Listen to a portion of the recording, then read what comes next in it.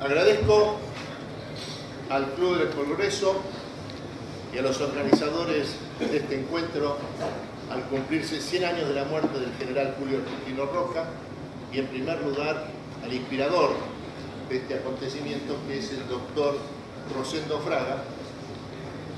Y quiero señalar que esta, esta oportunidad que tengo de hablar hoy en el Club del Progreso sobre Roca, me siento doblemente honrado en medida en que estoy en condiciones de hacerlo junto con dos figuras tan prestigiosas como Seferino Reato y Rolando Janti.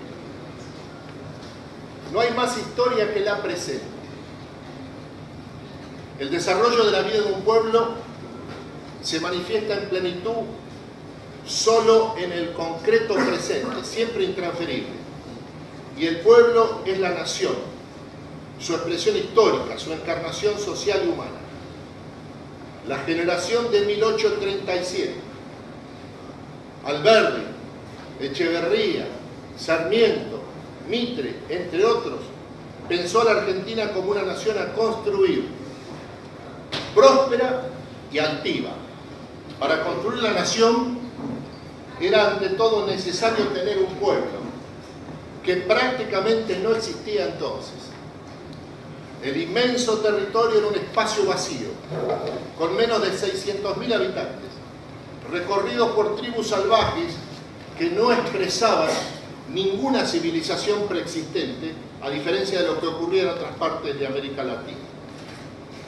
Y en cuanto a la unidad política del Estado, la regla eran entonces las guerras civiles, los brotes anárquicos y la disolución de todo tipo de autoridad.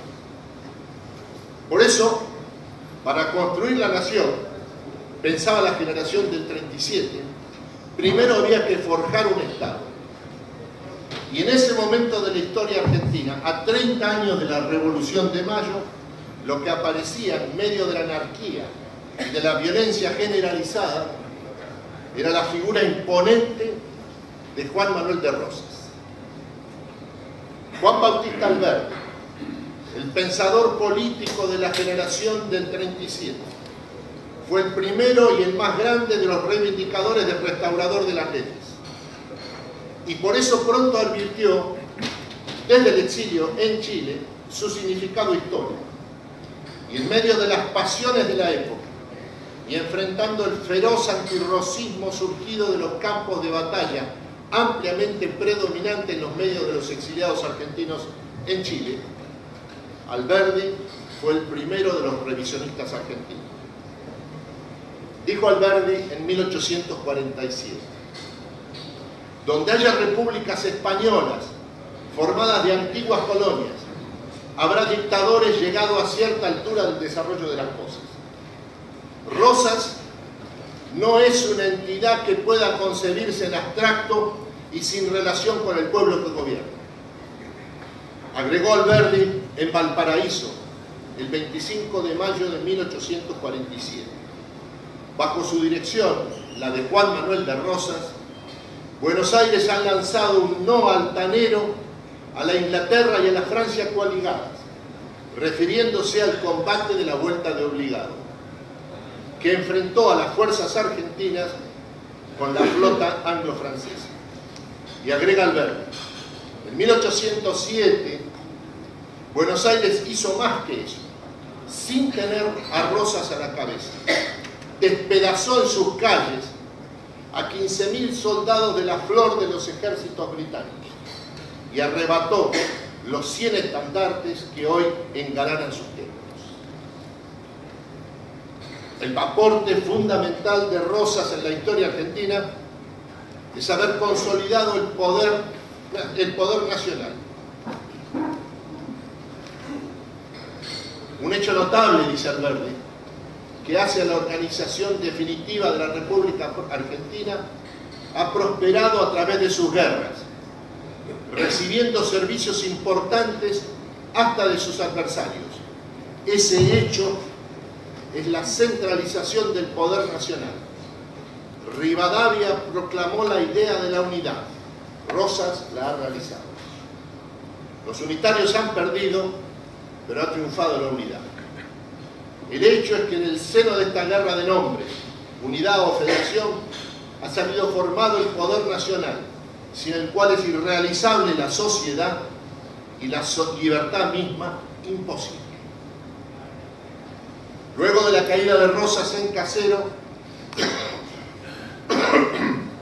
la nación argentina vivió casi 30 años de inestabilidad política, situación que se mantuvo hasta la llegada a la presidencia de uno de los personajes más importantes de toda la historia argentina, que es el general Julio Argentino Roca. Julio Argentino Roca fue enviado por su padre, un antiguo oficial sarmantiniano que acompañó al Libertador en el cruce de los Andes, cuando tenía 14 años, para incorporarse como cadete al regimiento Escuela de Concepción del Uruguay. Y la primera orden que recibió el joven cadete aspirante oficial fue la de fusilar a dos desertores, con el objetivo de templar el carácter. Desde entonces, Roca nunca estuvo ausente de las batallas que marcaron la larga guerra civil que se desató en la Argentina después de la caída de Rosas en febrero de 1852. Solo en las trincheras del Paraguay, en la guerra de 1865-1870, el ejército que integró Roca desde su adolescencia descubrió y afirmó un profundo sentido de identidad nacional. Por eso este ejército, una de cuyas figuras fundamentales era Roca, entonces teniente coronel, se propuso cerrar el ciclo de guerras civiles y comenzar la construcción de una nación en el desierto. Y para eso, ese ejército nacional surgido de las trincheras del Paraguay trajo como presidente de la República desde los Estados Unidos a Domingo Faustino Sarmiento. El teniente coronel Roca tenía entonces 30 años y ya había combatido en 16 batallas.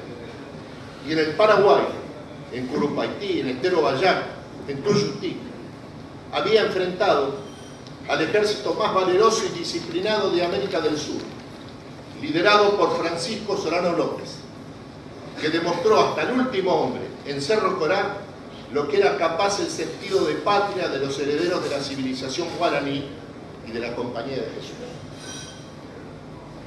En las trincheras del Paraguay se forjó la identidad argentina, más allá de partidos y de guerras civiles, y allí murieron los mejores de la generación de Roca, entre ellos su amigo Domingo Fidel Sarmiento, más conocido como, como Dominguito.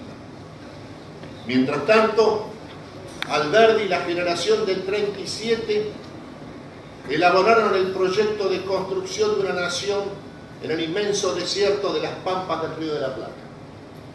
Esta elaboración no fue un producto académico, sino una intensa discusión política, como es propio de la cultura hiperpolitizada de la Argentina desde siempre. Alberdi distinguió desde el principio en esta construcción de una nación en el desierto entre la república posible y la república verdadera. La república posible era el instrumento de acción, el Estado, que permitiera construir la nación en su triple dimensión de pueblo, crecimiento económico de acuerdo a la época, a inserción en el mundo avanzado. Y esta tarea histórica debía servir de sustento y contenido para la aparición de la segunda, la República verdadera. La República posible como instrumento de acción debía ser juzgada por su actitud en la tarea de construcción, en el hacer eficaz. Y esto requería disponer, dice Alberdi, de tres dispositivos de poder. El primero, era necesario nacionalizar, nacionalizar la aduana de Buenos Aires, única fuente genuina de recursos fiscales del país. Luego, era preciso federalizar la ciudad de Buenos Aires, tornando nacional la sede del poder político real. Por último, igualmente importante, el nuevo Estado debía disponer de un ejército de línea capaz de cerrar el ciclo de guerras civiles y de aplastar los brotes de la Este ejército de línea, surgido de la guerra del Paraguay, debía extender también por primera vez desde 1810 la presencia estatal, orden, administración, seguridad de las personas y de los bienes hasta los últimos confines de la nación en construcción, desde la Patagonia al Chaco. La nueva nación que se construyó sobre un espacio vacío y que tuvo como ejecutor fundamental a Julio Argentino Roca, fue un éxito histórico extraordinario. Y ese éxito se manifestó mediante la forja de una sociedad surgida a través de una inmensa inmigración europea que se trasplantó desde el viejo continente a las pampas vacías. Entre 1869, primer censo nacional, presidencia de Domingo Faustino Sarmiento, y 1930, ingresaron a la Argentina 6 millones de inmigrantes europeos y 2 millones volvieron a sus países de origen. Quedaron 4 millones de inmigrantes europeos en la Argentina. El censo de Sarmiento mostró una Argentina poblada, 1869, por 1.800.000 habitantes, de los cuales 250.000 eran extranjeros, y el resto, los argentinos nativos, en un 80% carecían de oficio y profesión conocida y no sabían leer ni escribir. Había entonces una sola ciudad de más de 100.000 habitantes, Buenos Aires, mientras que en las 14 capitales de provincia ninguna reunía más de 20.000 habitantes. Así, la nueva nación, construida en las pampas vacías, se construyó con cuatro inmigrantes europeos por cada argentino original. Y la Argentina fue el país de más rápido crecimiento económico del mundo entre 1880 y 1913, por encima incluso de los Estados Unidos. Pero la sociedad que surgió careció de un pasado común y su intenso dinamismo social y económico la transformó por necesidad en una comunidad profundamente politizada y característicamente conflictiva. Esta sociedad intensamente moderna, creada por la generación del 37 y liderada y ejecutada por Julio Argentino Roca, se caracterizó por su extraordinaria capacidad de innovación social y política. La primera, que incorporó a los hijos de la ola inmigratoria de estas grandes innovaciones sociales y políticas que experimentó el país, fue la que incorporó a los hijos de la ola inmigratoria europea al sistema político. Los nacionalizó. Y este fenómeno de extraordinaria importancia para la identidad argentina fue liderada por Hipólito Yrigoyen y expresada por el radicalismo. La segunda, que cambió irreversiblemente el país, integró a los trabajadores industriales y al sindicalismo a la vida política y cultural de la Argentina. Se expresó a través del peronismo y su líder fue el coronel Juan Domingo Perón, un admirador en toda su vida y toda su trayectoria profesional de su camarada Julio Argentino Roca. Cien años después de la muerte de Roca, su mensaje y su propuesta están más vivos que nunca. Una sola nación, volcada al futuro y unida por un proyecto de construcción en común. Un Estado fuerte, legítimo, profundamente respetado adentro y afuera de las fronteras del país. Y de las dos cosas, una. La unidad de la nación para desplegar la extraordinaria riqueza y creatividad de su sociedad, aquella creada por un proyecto deliberado de la generación del 37 y transformada en realidad por Julio Argentino Roca, oficial del ejército argentino. Muchas gracias.